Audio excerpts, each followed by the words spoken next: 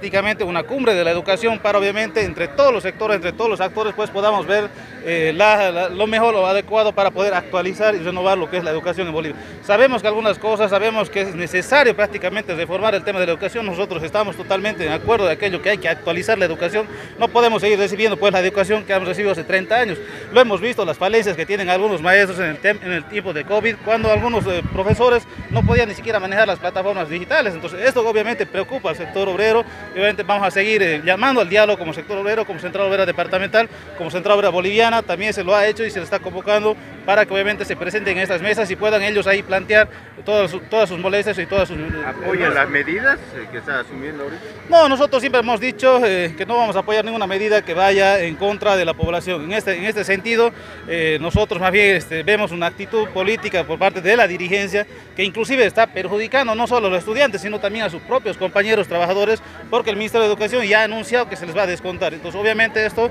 eh, nos, nos, nos, lleva, nos llena de preocupación porque van a ser afectados sus propios afiliados. ¿no? ¿Están de acuerdo con la nueva malla curricular entonces? No, creemos que se tiene que debatir, se tiene que estudiar, se tiene que, por eso nosotros como sector hemos, eh, hemos eh, planteado que se realice una cumbre de la educación donde ahí obviamente podamos decir qué es lo que está mal, qué es lo que falta o qué es lo que está de más en, en, en la actual malla curricular. ¿no? El 2022, el impulso al sector agropecuario fue nuestra prioridad. El SEDAC transfirió tecnología y brindó asesoramiento para mejorar la producción agrícola. Se logró controlar varias enfermedades del agro y se desparasitó más de 14.000 cabezas de ganado. El PER trabajó en la reforestación de más de 1.000 hectáreas.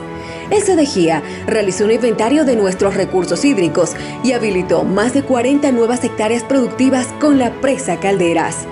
El proyecto San Jacinto apoyó a más de 2.000 familias regantes y con el ProSol se inyectó más de 51 millones de bolivianos a más de 22.000 productores agropecuarios del departamento.